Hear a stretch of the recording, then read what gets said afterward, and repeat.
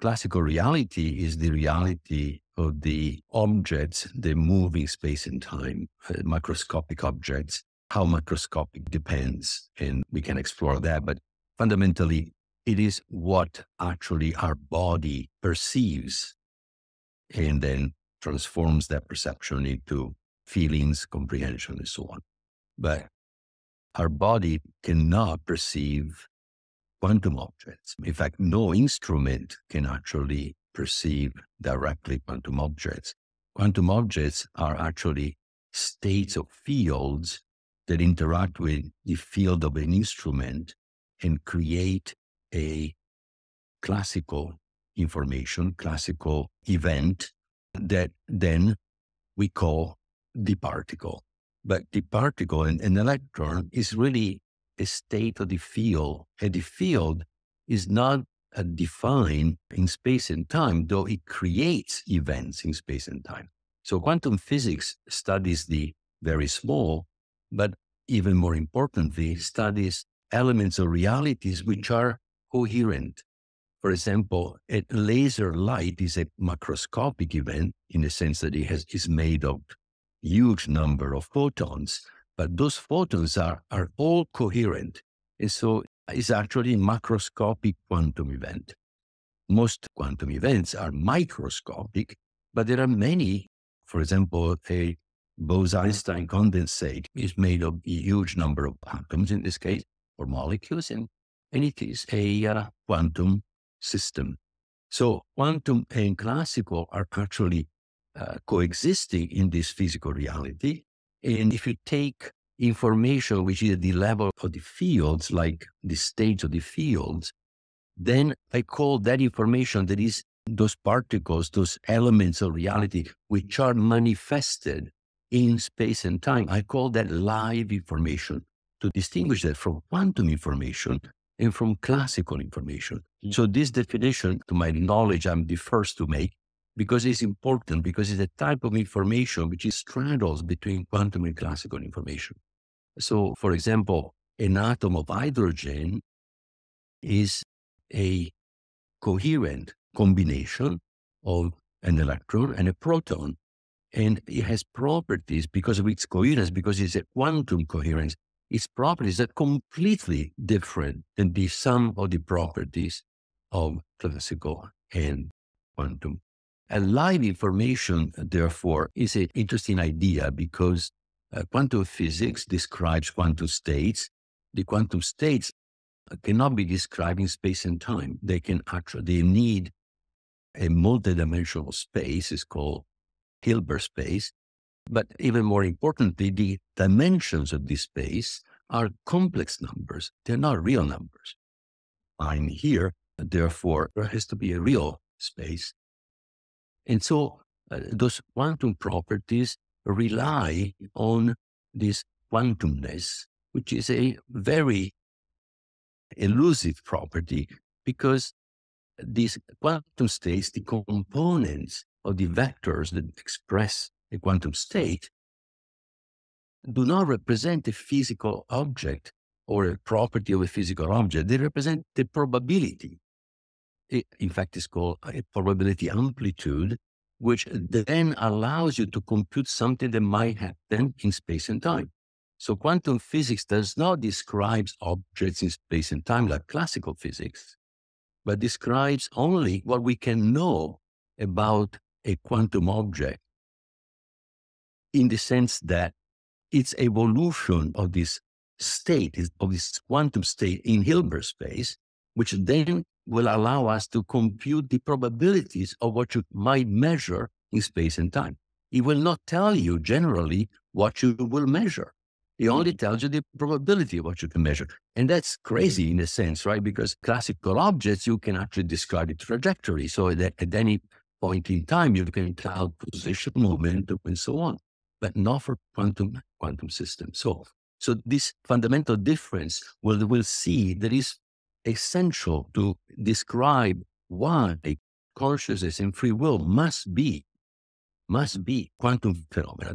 They cannot be described in real terms and with the dimensions in which we normally understand the classical reality. The worldview today uh, that is prevalent is uh, the physicalist or the materialist mm. worldview, which, of course, a materialistic worldview requires also reductionism. In other words, science can only solve problems by breaking up the problem into parts that interact with each other and produces the phenomenon that you will explain. Well, that works extremely well with the classical physics because the objects of classical physics are these particles, atoms, and molecules that are organized, that are disorganized. There is a collection of disorganized live symbols, let's call them, right? In other words, uh, objects that are quantum in nature, but uh, their quantumness cancels out in the randomness of their assemblage. And remember, quantum physics it only gives you the probabilities of what will appear or the particles that appear. So when you have a lot of them, when you average those probabilities, you have classical objects that behave deterministically. Deterministic means that the next state of that object is perfectly computable from the previous state through a transformation which is one to one, just like a computer. The transformation of the computer is called an instruction, and you take the state that the instruction works on, it produces the next state, and that state is deterministic. There is no way to escape that. So in a classical system, free will cannot exist. so, mm. but the prevalent idea today among physicists is that quantum theory is just a mathematical theory that is useful to compute what you can measure in space and time. So reality is given only to what happens in space and time. There is no mm. reality given to the quantum states of these mathematical objects that help figure out what happens in space and time. What, what I'm saying, on the other hand, is that no, the quantum reality is really a deeper reality out of which space and time reality emerges, but it is real. In fact, it's even more real than what we can measure in space and time. And witness the fact that quantum computers cannot compute in space and time what they do. They actually have to computed somewhere else, and nobody knows where that computation is done. So I'm saying that computation is done in this vaster reality, which we have to explore. I mean, we have mm. to say it has to be there, but and we cannot say much now until we explore it. And by the way, how can we explore that? With consciousness. Consciousness is the perfect instrument to explore the inner reality, which is exactly what we have been done all our lives. When we think and when we understand the meaning and so on, we are actually doing that in that quantum reality. We are not doing that in the brain. That's the consequence of this new view that the brain is a physical structure in space and time where there is no consciousness per se. It's attached, okay, because it's made of particles and particles are states of the fields that cannot be separated from the field. See, that's another important notion that quantum physics brought up is that we were thinking of electrons as objects, you know, up until recently, until the 50s and 60s. But then we realized that no, the electron is not an object, it's a state of the field, it's an excited state of the field. In other words, in this new understanding with this CIP theory, CIP way of looking, then an excited state of the field is actually a symbol that the field emits in space and time to communicate what it wants to communicate, a meaning that it feels within the state itself, which is its conscious state, is the symbol used to communicate the meaning that it wants to communicate.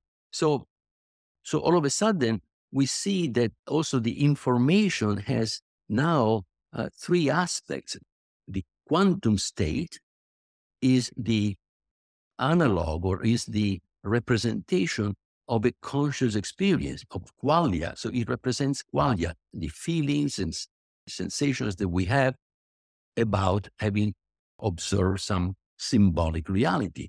The symbols that are observed by the field are the live information.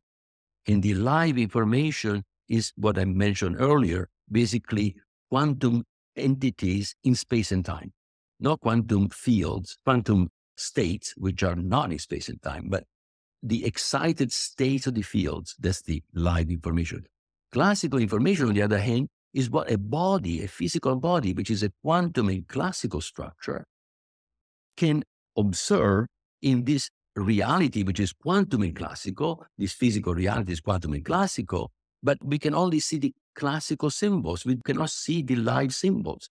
But our cells can transform the classical information that is produced by the senses and the brain into inner live information within the machinery of the cell, which is what the conscious field actually observes to transform into its feelings, into this, mm. in, into its qualia. And qualia in this theory is simply the entry point into the inner world. Qualia are actually the bringers of comprehension and meaning. So comprehensions and meaning come as in an inner production of the conscious field. It doesn't happen from the outside. It happens within the field. And there, there will be new physics, new physics that nobody has ever suspected or few have suspected. Because how do we go from qualia to comprehensions and meaning? Qualia is the entry point to the inner sanctum of meaning.